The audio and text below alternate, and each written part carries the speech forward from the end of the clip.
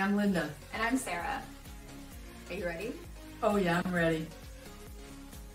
Let's get relational. Hello, and welcome back to another episode of Let's Get Relational. Um, today, we are going to be talking about uh, creating a support network um, for for yourself. Uh, it's important to have a support network to be able to um, go to people uh, uh, for advice, uh, for um, help, for love and support. Um, and it's basically like creating like an extended family for yourself so that if something comes up, you have other people that you can rely on. Um, some of you may be very uncomfortable with, with that. You know, you want to be really independent, want to do everything yourselves. That's that's okay. I get that. I've been there. Um, yeah, she gets it. um, but the really nice thing is that when you have people that you can also rely on to be able to support you in certain situations, then it's life just becomes a whole lot less stressful because it you're not having to come up with every single little thing that you need to do or to thrive or survive or in any in any context you have other people that you can go to to be like hey i really just need some love right now or like can i talk to you about this? Or i just want a hug you know that kind of thing. Sometimes you just want a hug okay? Um, we, we have a we have a thing every time uh, that I come over, like if we don't first hug when I first see her, it's like then I'll just kind of follow her around at some point and be like, Mother, I require a hug. Embrace me. she does literally do that. Mm-hmm. Yeah. Maybe I'm washing the dishes or something when she gets here, and it's like if the hug is not immediate, it's. Yeah, she. I'll just. I'll just. I, I get the look. Yeah. yeah. Yeah. Yeah. So, but it's nice to be able to ask those people for that in your life, and these people may be friends. They may not actually be part of your, your family, um, but it, creating an, an, environment and other people that are really there for you and really love you and want to support you is just beautiful. yeah, I want to want you to talk a little bit about this idea of being like the super girlfriend or the super parent or you know, super friend or whatever. Um, Which because we've gone over in another episode. We have, but I want to just focus on a little bit of here yeah. because I, I think if we can go into it a little bit more depth, people will get where they're trying to do that yeah. or where they're asking somebody else to do that. Mm-hmm. So can yeah. you talk about that a little bit about how you discovered like that part of yourself? Yeah, it's it comes from like a fixer kind of mentality or, or a rescuer sort of uh, identity need that you want to be met where you are recognized and valued for being there. And uh, so if you're someone who maybe doesn't feel like you're worth a whole lot or if you're not very worthy or if people don't really want you around but you you're always there when someone needs you that is coming from a place of you're trying to get your identity need met through all the one that's always going to be there no matter what. However, that does come at a cost to you because you can't maintain that indefinitely. And I have tried to do that personally for um, people in my life, and it does not work out. um, it becomes too much of a toll because you're taking on all of their stuff and you're trying to solve everything for them and help them work through everything or trying to be there whenever they need you, even if it's at four o'clock in the freaking morning.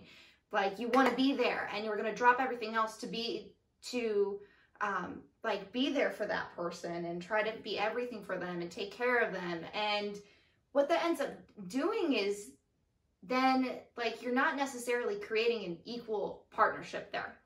It's not an equal relationship you're basically on one knee in front of them offering everything being like let me let me hold everything for you. Your your burdens will be on my shoulders. I shall carry them for you. Um and uh, saying it like that it just seems like a little like you know cuckoo for cocoa puffs. Um because that means you need to look inside yourself to figure out why it is you're wanting to shoulder everyone else's burdens. Is it because you don't want to deal with your own, or is it because you think if you were to open up about your burdens that no one would love you? Um, is it for me? That's kind of where it was coming from. Is I was wasn't self-aware of my own worth. Like I wasn't aware uh, aware of my own worth and that I was worthy of love. So I tried to do everything I possibly could that would make sure people would love me and would appreciate me and want me around. And I wanted to be the super, like, super friend, the super person that was in their life where they knew like they could always count on count on me. And if they knew they could always count on me, then why would they want to get rid of me? And but then it comes to the point where if you're always expected for other people to count on you, like how are you going to count on yourself? Because you're focusing on everyone else's shit when you have time for your own. And that became a struggle. It was a struggle for me. And I had to really look at I am not taking care of myself at all by trying to do everything else for everyone else and trying to be there and just support, be compassionate and kind and empathetic all the time. So I'm just expending all of this energy to try and take care of all of these other people. And it just doesn't work. It doesn't. You don't have enough energy to take care of yourself then. And then you're going to feel empty afterwards, depleted. And when you want to disappear in a nook and corner, you, you start to resent the fact that you don't have enough energy when people are calling on you because they, that's what they expect you to just come rushing to their aid whenever they call. Well, and you have to really look at are you really helping that person mm-hmm. by doing that? I mean, remember when you were in college and there were people who couldn't even manage how to call their doctor and um, yeah. ask a question. And you've been doing that for several years mm-hmm. when by the time you got to college. Yeah. So you were really very comfortable with that. Mm-hmm. And it doesn't mean you liked making phone calls or anything. A lot no, of people don't, don't like doing that. But she was totally in charge of her own health care by that point. And we did a lot of conversation about things to ask a doctor, mm-hmm. ways to ask a doctor, how to listen to a doctor, all those kinds of things. But a lot of people she went to college with, their parents hadn't had that conversation. The parents were still being super parent and taking care of everything. Yeah. And and we see that a lot with kids who go to college, uh, not being able to take care of themselves and not being able to make good decisions. They have no basic life skills. Like that's one of the biggest things that I noticed when going to college was that so many people like had zero basic life skills um, for you know saving money when like how to uh, you know make conscious you know spending decisions how to uh, cook uh, the uh, how to clean things, um, you know, making calls to ask questions about related to something with, at school or you know healthcare. They just had no darn clue about how to go about like adult life basically and it was very strange to me to kind of you, you, have a handle on more of those things i mean i wasn't perfect at it you know at like 19 um, but uh, i at least had an understanding of like the best course of action but the some of my friends just didn't and some people that i knew just like did not necessarily have that understanding that um, knowledge to be able to actually make really conscious and smart decisions. So they would get into some sticky situations. Well, a lot of that was because they weren't given increasing levels of responsibility as mm-hmm. they were growing up as teenagers. And some parents um, become helicopter parents and they are so involved in every decision their child makes, and there's never a consequence for their action. And you have to really look if, as if you're a parent, what you're doing in that situation. And um, as, as I'm getting older now, it's funny because I'm looking at things like um, it, it, would be so much easier to ask Sarah to do lots of things for me. Was like, well, I'm you know, getting older. There's like nothing wrong with asking for help. And I thought, what if I decided to be as an independent for as long as I could with everything? Uh, and there's certain things I don't do. I, I don't get up on a ladder by myself. Uh, I'll still get up on the ladder, but I make sure somebody's here. Um, I don't get up and, and stress for something so far up that I have a chance of falling. Because, um, you know, for those of us who live alone, falling and nobody noticing is one of our biggest fears. And so, you know, I've looked at it from the opposite direction too of like, I don't, I want to continue empowering myself the same way I empowered her to make her own decisions and to take care of herself. And um, also feeling like I, as my, she's one of my primary support people and I for her, you know, there are times when I do ask for her help there are times when I'm having a party and I need help getting my house clean and, and she's happy to do it. And, and I, I try to pick the, the ones, the parts of the house cleaning things that she really likes. And, and it works out really well. So I'm not afraid to ask for help, but I've really learned not to be dependent also. And I think that's um, something we all have to look at in our relationships if, is if we are positioning ourselves in such a way to be there, be all, end all, what's our motivation and mm-hmm. what's the benefit to the other person? So for the other person, for you to do everything for them, it seems like it's a really good deal in a lot of ways. And, uh, you know, and you're just sacrificing and doing and doing and doing. And the detriment to you is to yourself when you're in that position is not having a clear sense of whether you're giving with a, a pure heart. Are you giving to give mm-hmm. or are you giving because you think you're going to get something out of it? And if your identity needs, as Sarah said, are being met by who you are to that person or those persons, and for a lot of women particularly, our identity needs are all wrapped up in what other people think of us and how well we take care of everybody in our life. And mm-hmm. that's the part that, you know, men are not often evaluated on how well they take care of everyone in their lives. Um, but women are often evaluated on are they the friend that you can count on? Are they the uh, sister that will show up for you no matter what night and day? Are they the parent who is um, uh, just like relentless about doing everything? You know, they volunteer for every single thing at the school. They rescue you every single time you make a mistake. They bail you out when you make big mistakes uh, constantly. Like, so if you're that person doing the bailing out, what are you getting out of that? And if you're the person receiving it and taking advantage of it, what are you resisting in terms of who you're supposed to be in the world? What are you resisting in terms of growing up and having mm-hmm. control over your life? You know, and I, I think with her as a teenager, I wanted her to have increasing senses of responsibility, uh, to wake herself up for school, to uh, master assignments.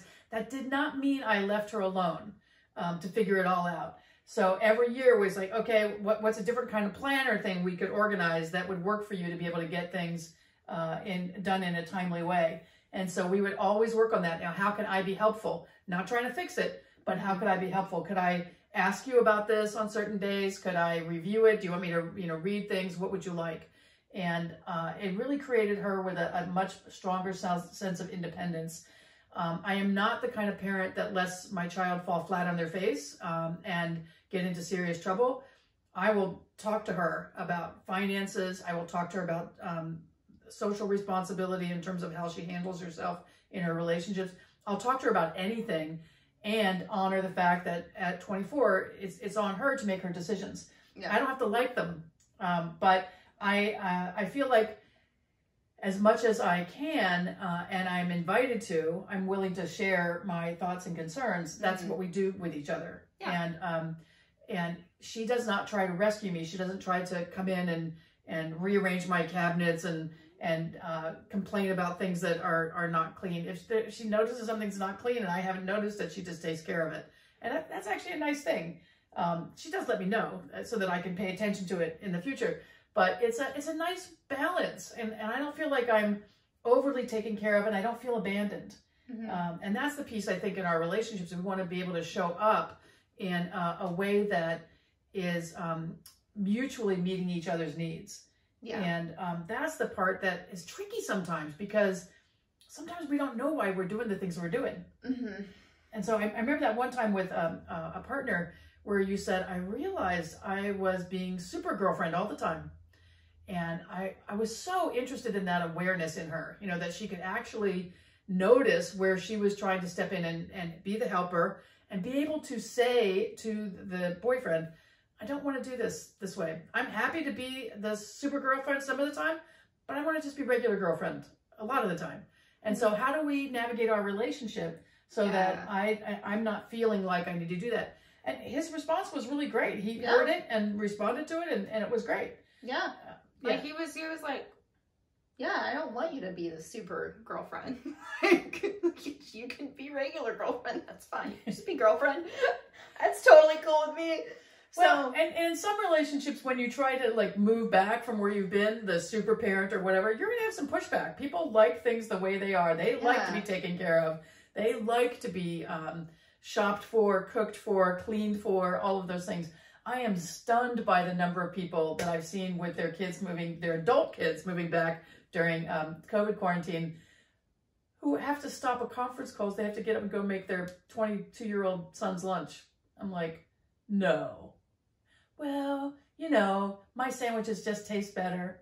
I'm like, well, that's great, but we are trying to do a business here. Like, uh, you know, you, you, there, there are some things that don't make sense to me. Mm-hmm. Um, and I love taking care of her. I love doing things for her. I love buying her surprise presents or picking up something at the grocery store I think she would like. Um, I love doing all of those things, but I don't want to do any of them to the extent that she feels like she's not the independent, um, self-sufficient young woman that she is.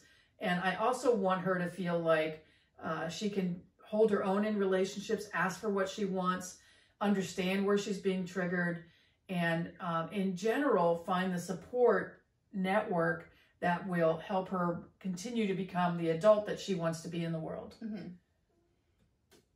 Yeah, that's key. so, in terms of um, super friends and super parents and, and all those kinds of things, what other advice would you give someone who's trying to extricate themselves from being that person?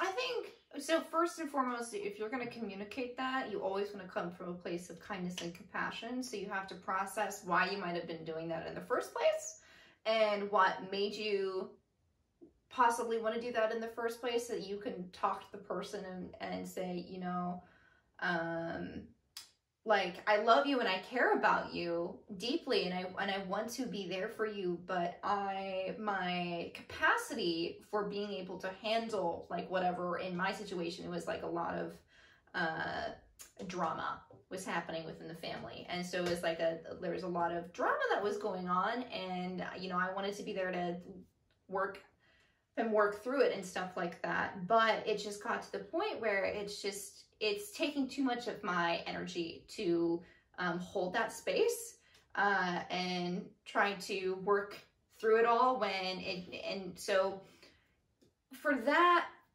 in that situation it was just i don't have the capacity to keep doing this. Um, i want to be there for you but i can't be there for you uh, every second of every day to help you work through some stuff. Like i just i don't have the capacity. I also need time for myself. So um, like capacity is a really key thing in that, uh, like be honest about it. Like, you know, I'm running out of spoons, man. Like I don't got enough spoons for myself. I need some spoons for myself. And, um, but it, coming at it a way of like, you still want to be there, you still love them, you still care about them. This isn't to say that you're just gonna, like every time they ask for a question, you're just gonna be like, no, I don't hear it.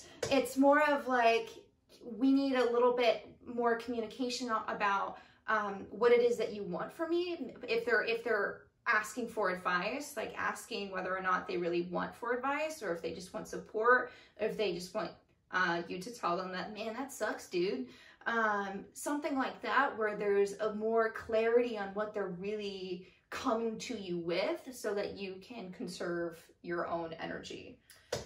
Yeah, and one of the things I want to say related to that is um, well, I think I probably want to say a couple things, but one of them is um, it's not to say that there aren't times when someone needs more help and more attention and for mm-hmm. you to be that super friend or parent or, or whatever. Certainly there are times when that's true. And I think that when we're looking at the responsibility of each person to make those choices, we have to really look at what each of us are getting out of it and what we really need. And so that balance is very hard to attain. I, and I, am not a person that believes in balance. Um, I, I, I, think that sometimes you have more of one thing and more of another thing at other times. Um, but I, I think that when you're looking at the way that you show up in those ways, it's super important for you to look at what what's motivating you to do it. So why are you being there all the time for everybody? Are you avoiding something? Are, are you uh, wanting to be seen as the ultimate fixer? Do you are you avoiding intimacy? Um, you know, because if you're in the position of always being the fixer and the person everybody looks to, uh, there's not real intimacy there. Um, there's you as the caregiver, and then the other person who's the receiver. And so, you know, to have more equal relationships requires you to be able to receive.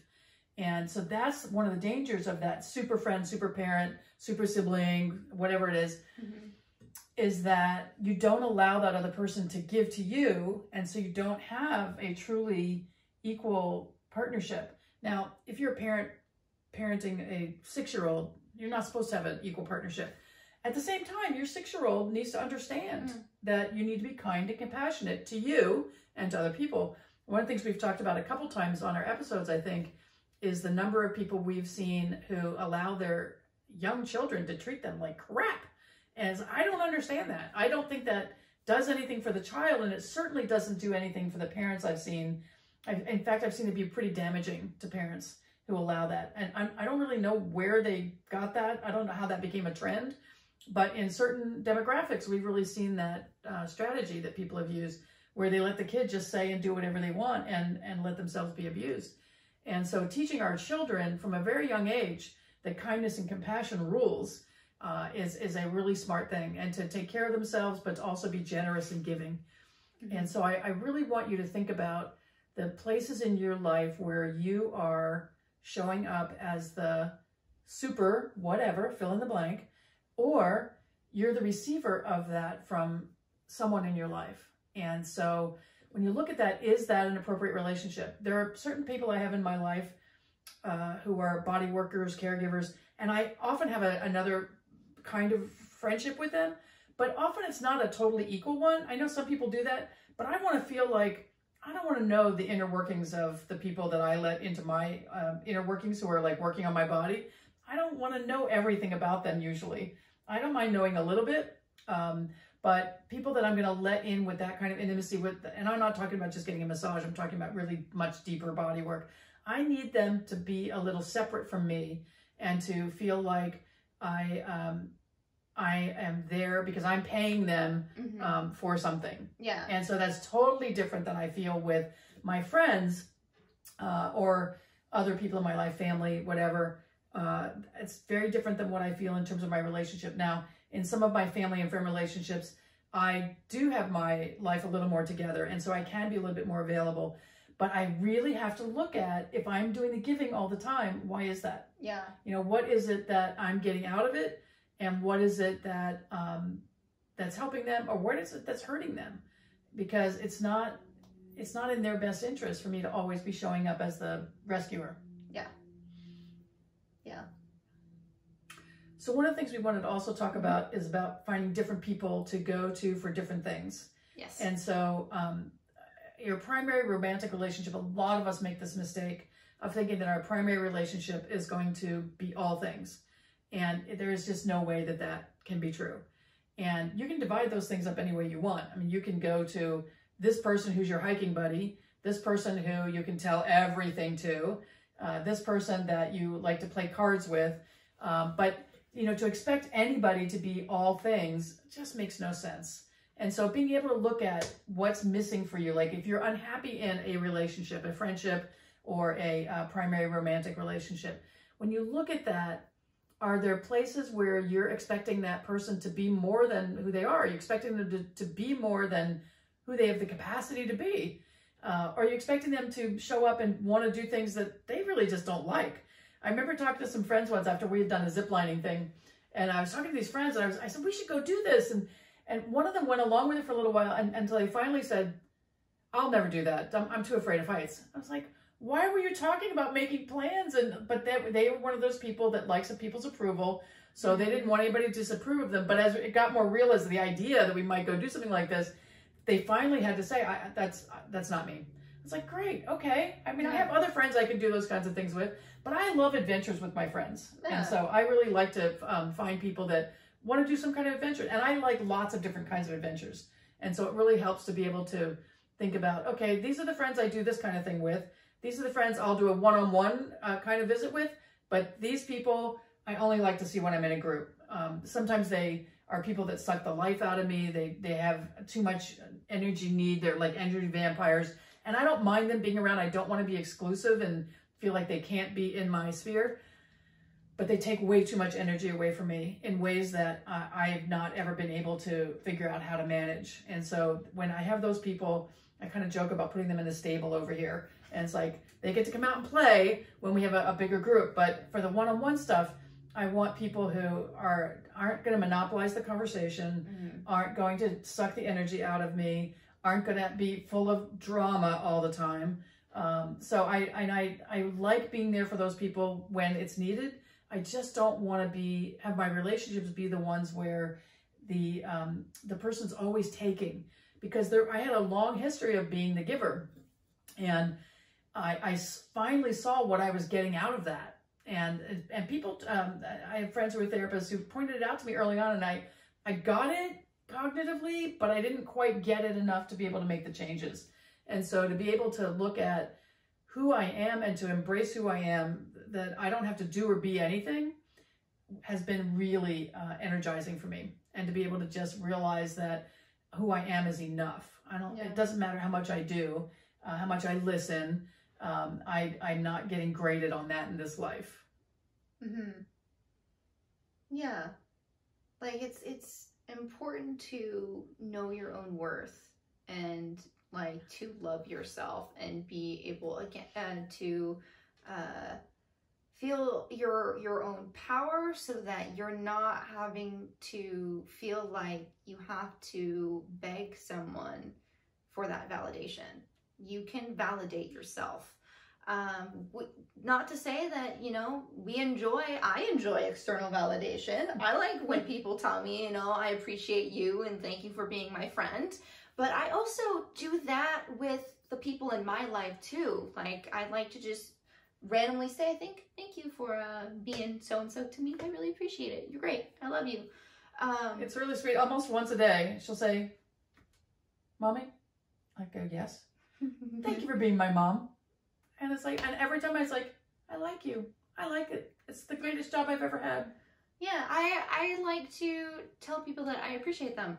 And I don't necessarily expect that in return, but with the people in my life, when I say thank you for being my friend, everyone's like, thank you for being my friend, you know? And like that's that's the kind of relationships that I want where you can both appreciate what you have in the relationship so that um, you it, it's a sense of it, where you're on the same ground, ground, like you're on the same level. It's this equilibrium that you've been able to to find because it's just it's really draining when you just have to give all the time when someone expects you to give all the time. So because that's what some people can fall into once you've created a pattern, they expect that and then it's harder for you to get out of it um, which is why it's at this point, like I've learned that I want to go to different people for different things, and I've worked that out in my relationships. Like it wasn't just immediately, oh, this is what I do with this person, this is what I do with this person, this is what I do with this person.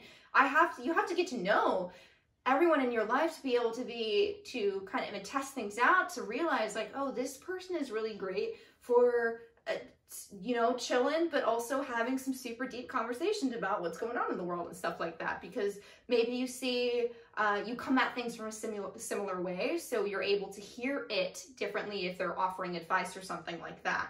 Um, while other people um, might have a more uh, uh, critical view on things, and so if they try uh, telling you things or offering advice, you may not hear it as well, or you take it a little personally. So maybe that's not a person you go to advice for advice. Um, so it's just finding a balance of where you, what you can ask for from your friends so that you're not asking for, for more than they can give you, um, or for more, uh, or asking them for things that you don't receive well. Uh, because sometimes you can get a little prickly when you, you, they do something and it's not really what you wanted so if it's not what you wanted, but you have a friend that does what you want, why not go to that friend for that thing, right?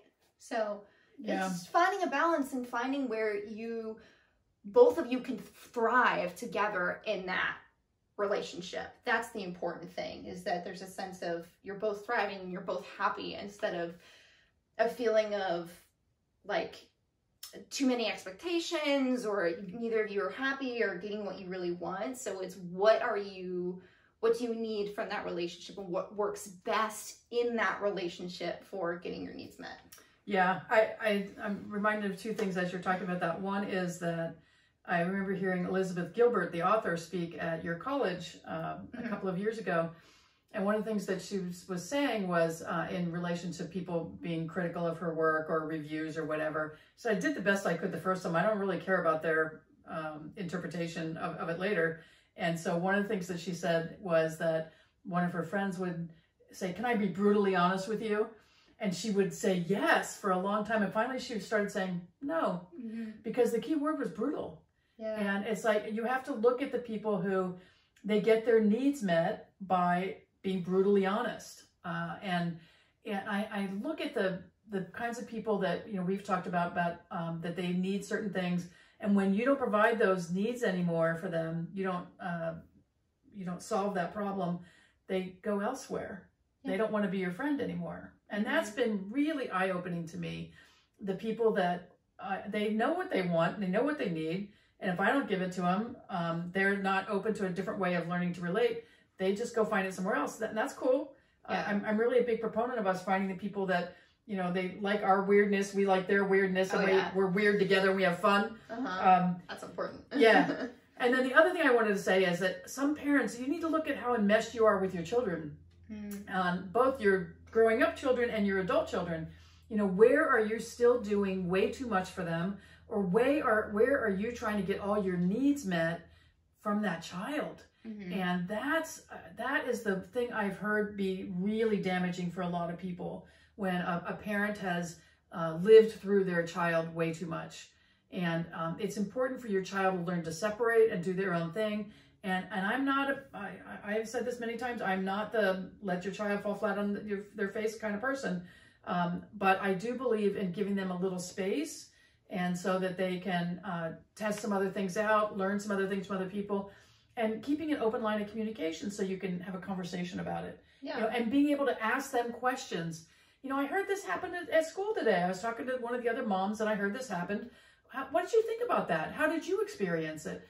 And and don't ask them yes or no questions. That that's a big danger. But ask them a question that is going to have them be thoughtful. Maybe they didn't even notice what happened. Maybe it was somebody got bullied and they were just in their own world. That that's how they protect themselves. Um, a friend of mine's um, 20 year old son recently died in his sleep. And she said in the course of uh, talking with his friends and, all, and um, processing the grief, she found out that he'd been really bullied early on in his uh, grade school time and she didn't know it. And so it was just this interesting uh, awareness of the things that our kids don't necessarily tell us. And so being able to ask certain questions like, wow, what would it feel like for you if somebody was treating you that way? And um, how do you think you could protect yourself if somebody was being mean to you all the time or stealing things from you? Or have you noticed anything happening at school where somebody feels like they're being singled out and uh, being made to feel different? And what would that be like if it happened to you? Has that ever happened to you? And really engaging in more conversation. What is um, really scary to me is uh, I used to run Girl Scout weekends and camps and all that sort of thing. And remember, we were doing a um, series of weekends, and we realized that the adults, in many cases, didn't know how to have a conversation with a table full of kids. That a lot of families don't eat at the table together anymore, or if they're eating at a table, they all have their electronic devices out, or they're reading, or whatever. That we've, in many families, lost the art of conversation around the dinner mm-hmm. table and we're together a lot. Yeah. And so sometimes we do pull out our phones at meals or, or whatever. But or we'll eat and watch a TV show right. or a movie or something like but, that. But it's because we spend a lot of time talking to each other, and, and so that works for us. But in times when that wasn't true, like I would be working full time and she was working full time or going to school or whatever, we would make sure to have that time to have that connection. But you know, I, I really invite you to do some examination of uh, where you are with that with your child um, where you are with that with an elderly parent. Um, you know, how enmeshed are you in somebody else's decisions and um, the, how attached are you to the outcome? And that's the really big thing for me is, am I attached to the outcome with this person in this friendship? So if, if the outcome of this friendship is we're only going to be friends if I do, do, do, do for them, am I willing to let go of that friendship? And I, in, in uh, the course of doing some work this year, I had to really look at the places in my life and the people in my life who made me feel really expanded and really good, mm-hmm. and the people who made me feel contracted and fearful and anxious. And I had to spend less time with the people who made me feel anxious and more time with the people who I felt this sense of calm and expansion with.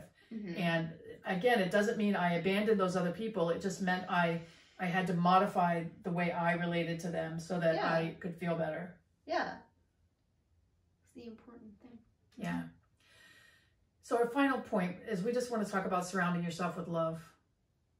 What would it be like in your life if you surrounded yourself with more love, freely given mm-hmm. and freely received? For many of you, your muscle of receiving is pretty weak. And for many of you, your muscle of giving is way overdeveloped. And so to be able to look at your relationship with your parents, with your children, with your siblings, with your friends, with your spouse, where are the places where you're letting love in, where you're giving love, where you're feeling compassion and kindness in your life, where you're feeling expansion? And where are the places where you feel stuck and unappreciated and just not where you want to be? Mm-hmm. There's a feeling inside your body that lets you know that you're just not happy with where things are. And I know a lot of women have gotten to a certain place in their lives, um, especially women who have altered career paths, uh, not necessarily given up a career, but altered career paths to make sure they had enough time for their for their family. Who wake up one day and it's like, well, wait, is this all there is? Like, I I, mm-hmm. I want more. I want more romance with my spouse, or I want um, more friendships with other people am, am I, did I overdo the balance? Uh, and did I do way more for other people than I needed to do? Any other closing thoughts? Like, I think the other thing too, just to briefly talk about, is that a lot of people, eh, like within relationships with expectations, people's love can feel very conditional and that can get you into a feeling can cause the feeling of you're not worthy of love that you're not uh, valued as a person because you have to do certain things you got to fit in a certain box to conform to what they want um, and then they'll love you and they'll give you love. And i don't think that that's like that's not a place of expansion you know? That's not a, allowing you to really be who, who you are. And so if you feel like you have to fit inside a box for someone to love you my advice would gtfo um, um, but it, it's to consider why you're pretzeling yourself into this tiny little box to make this person to make this this is make is in quotes um, make this person love you. Um, or why are you doing that for this person's love? What are you what are you really getting out of that? Uh, we've had a really long talk a while ago about unconditional love versus conditional. And something that we that we discussed was that her love for me is unconditional um, and not to say that like she's gonna put up with me being an asshole, um, no. or something like that, but to say that like you know I'm allowed I'm allowed to make mistakes. Things happen. I can upset her, but that doesn't mean her love is just gonna go away. She is going to continue to love me, and loving people is a choice. You don't just really fall out of love or you you can choose to keep making the effort to change things so that you can still be there in that feeling um, or you let it go. And so for like unconditional love, that's what I feel towards my friends too, is like they can do things that upset me, but it's okay because I can go to them and I can talk to them about it, be like, this really upset me. And we can talk it out and we move forward because now something, we've shifted something again in our relationship and we're both determined and committed to continuing forward within it. And so I think for wanting to be the super person, that's a really big thing is are you being the super person because you're trying to fit in all the boxes that they want that, um, or the box that they want you to fit in so you can receive love? Because if they really, like, why would you want to contort yourself when there's someone else out there that may fully love you for all of who you are, that you can just show up and they're like, this is magnificent. I love all of this. Um, you know, inside and out, like like that is such a beautiful feeling to be fully and truly accepted and fully and truly loved for all of who you are inside and out and like if you're not feeling that in your relationship really look at your relationship and it's not to say you know i jokingly say gtfo but like really look at um what's going on in that relationship and how you can maybe um uh, talk to them about it or remove yourself so that there's not so much pressure to fit in that little box that they they've created for you and just handed them like if you fit in this i'll love you. Um instead embrace who you are. And like once you embrace who you are people will come to you and be like dude you're dope. Like you're awesome. Can we be friends? Like why don't can we get together? Can we hang out? Can we get to know each other? Because they want to know you and they want to and they accept you and want to love you for all of who you are. Um so that's that's been something that i've had to learn. It's just really like not accepting conditional love because conditional love does not make you feel good. Conditional love makes you contract because you're having to fit into a a space that doesn't fit you. It's like trying to shove a square like the you know the baby puzzles with the little like shapes and the holes in the box or something, you got to put the shapes through. It's like you're trying to shove a square through a triangle hole. Like that doesn't work. You have to find the triangle hole, of the triangle shape to put through the triangle hole, right? So life be, if you're square, why not find a someone who has a square hole that you can fit through? Because they're like, you're really cool and you're amazing instead of someone trying to force you to be a triangle. Yeah, I think many times we're so afraid to be alone that mm-hmm. we um, uh, tolerate things that really don't make us happy. And so I encourage you as you look around at your support network to look at who the people are that make you feel really expansive and really good and really happy in your life and spend more time with those people and find more of those people. Mm-hmm. And the other people who make you feel small and unappreciated, if there's some of those people are people you have to spend time with, then you've got to change the way you relate to them. You do not have to be the super parent, the super daughter. Um, you have to change the way you relate to them and the way you allow their energy to affect you. Mm-hmm. Um, I think that last thing you brought up is so important as as we are often raised in a way that um, is conditional love. Yeah. And so to be able to really learn what unconditional love is and um, it doesn't mean you always like the actions of the other person, but no. you love them enough to compassionately and kindly express your feelings um, after you've looked at whatever the triggers are for yeah. you um, and um, and work together to have a better relationship mm-hmm. or to, to decide maybe this isn't the right friendship yeah. and uh, there's nothing wrong with that and there's nothing wrong with deciding that there are people in your life that, that just don't fit mm-hmm. and uh, it's actually healthy and so looking for yourself at who you have in your support network who you can go to for different things that you need in your life mm-hmm. Um, and then look at yourself. I mean, don't be afraid to look at yourself and say, okay, where am I showing up as needy, dependent? Where mm-hmm. am I mm-hmm. showing up as being the super person? You know, and how do I become a stronger me so that my relationships can be stronger and, yeah. and healthier and happier? And so it, it's a two-way thing. It's about looking at who you've got in your life and, and what they're giving to you and whether you're willing to receive it. Mm-hmm. And then what are you doing and how are you showing up in order to, to give um, and what's the purity of your giving? Are you trying to get something or are you giving because it feels good? Mm-hmm. I, I, had to look at a few things in my life where I was like, okay, why do you want to do that? Because I can get into a place where I'm feeling super generous and want to give a lot to a lot of people and have a lot of events and have people over and stuff. And I have to go, okay, are you trying to get a need met from that or you, do you genuinely want to do X, Y, and Z? And so I, I really, I, I really hope you'll take some time to mm-hmm. um, connect with yourself and just go to that place we've talked about in our other episode on inner peace and really look at what what works for you what makes you happy. Yeah. And and um, especially during these times like what can you do to do more of what makes you happy? Yeah. Yeah. Yeah. Good? Complete? Yeah. Double thumbs up. Awesome. We love you. We can't wait to be with you again. Until then take care